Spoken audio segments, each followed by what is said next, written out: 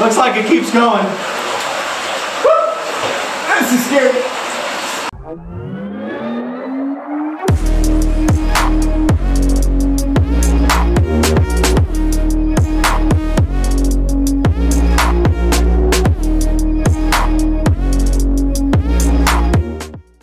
What is up everyone and welcome back to another video here on Coastal Trails Media and today in this episode of Maximize Minimal Living we're doing something that truly scares the crap out of me. We're going caving.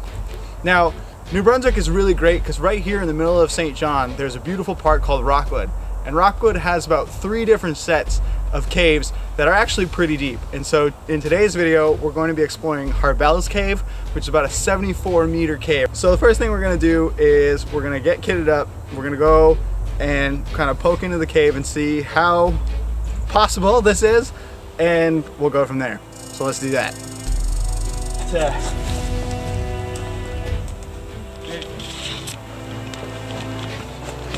Here goes nothing.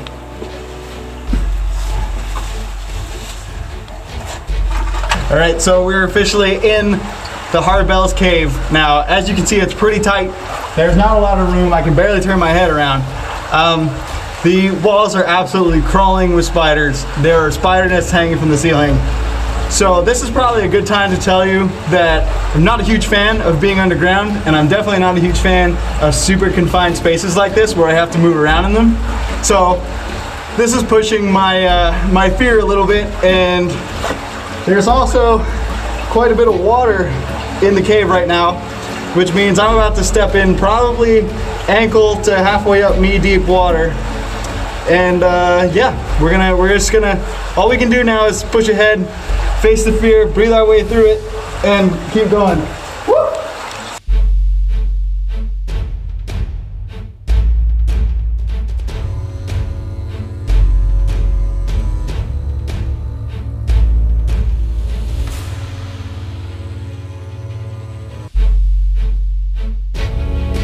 So they're kind of like two paths, but it looks like the water's going that way. So I feel like the smartest thing to do, at least for now, is to find our way along here and check out just around that corner. So gotta make sure we don't hit our heads. Stay close to the rock. Ugh.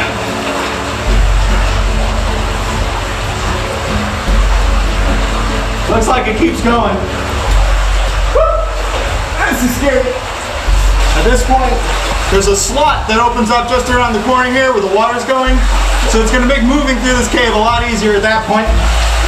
But right now, we're literally just sliding, up, sliding on our bellies and we have to commit to it and we just gotta keep going. So let's make it around that corner and let's check it out.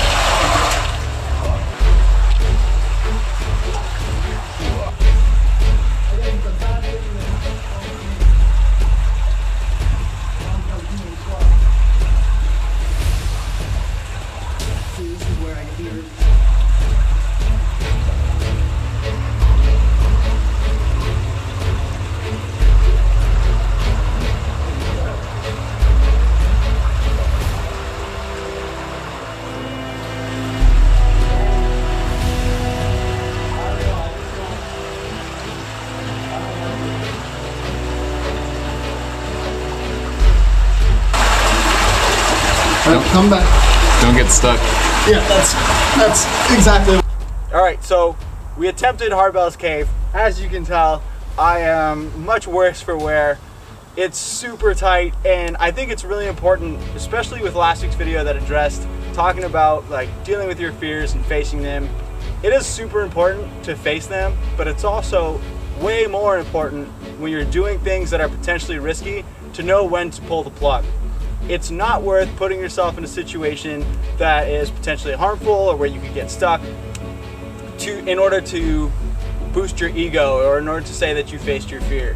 There are different ways of doing it and sometimes in specific scenarios you have to just call it quits and leave well enough alone and move on. And so I think that's what we have to do with this today. Maybe we'll try and check out some of the other caves in the region.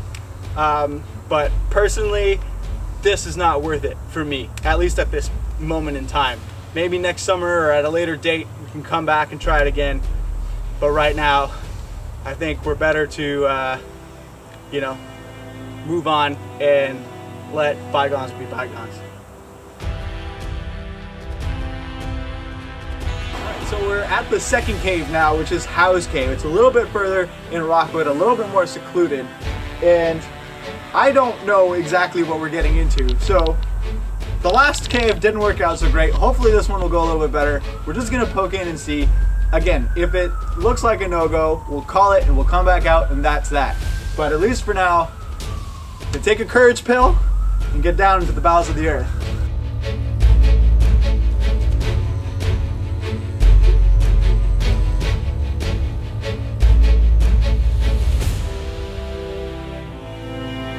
Definitely a tight squeeze, but I think we can poke in a little bit deeper, see how deep we can actually get.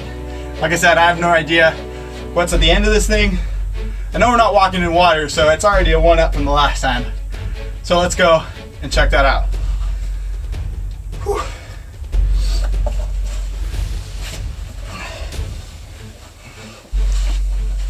Yeah. Oh, cold on the stomach. Looks like I'm gonna have to go in feet, feet first. Oh. I mentioned I hate tight spaces. Now.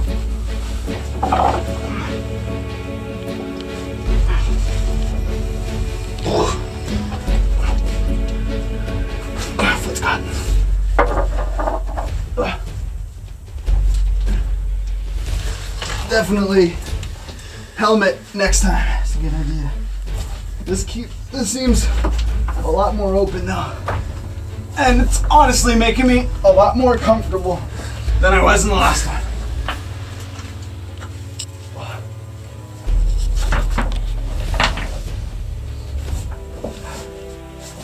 So we've gone through the bottom now, and there's a much bigger chamber here. You can actually probably hear the echo. Hopefully you can hear the echo. But this at this point doesn't seem too bad at all and I'm pretty comfortable moving forward. So let's do that.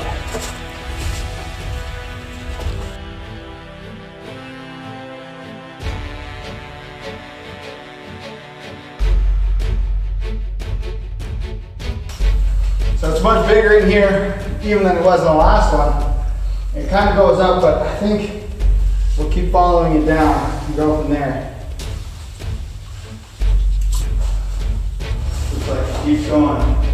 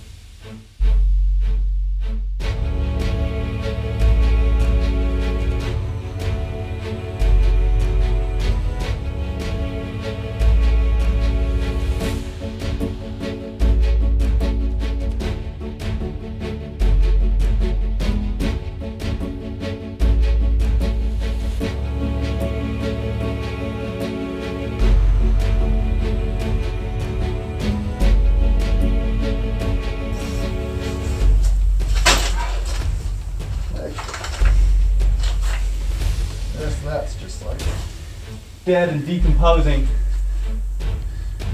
I think this is where this cave at least ends. So it looks like that's the end of the cave here. And you know, it's kind of cool. We did fail to a certain extent on the last one. And uh, I think my fear and my rationality got the best of me there. But at least here we got to try it again. We got to conquer said fears.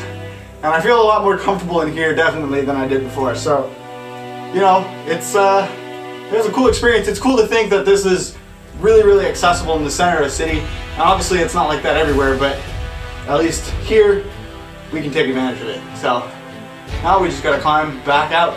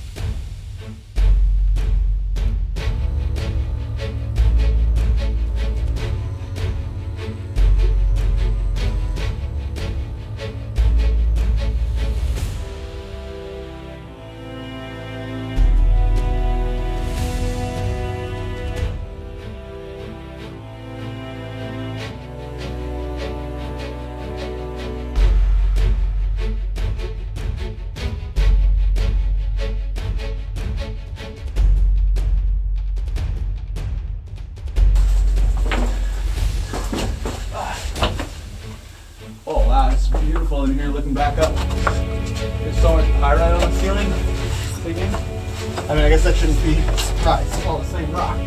But still.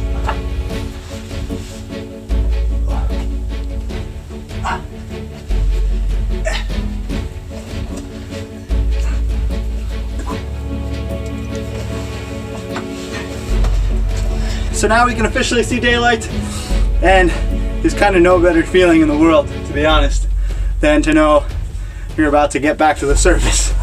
So, no time like the present.